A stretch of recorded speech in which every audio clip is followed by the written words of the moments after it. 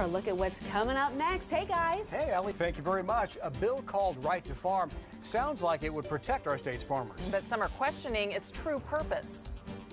We have the right to farm. It is woven into the fabric of Oklahoma. The harmful effects some worry it could have on Oklahoma's resources. Plus, pony on the loose, the chase and standoff to corral the tiny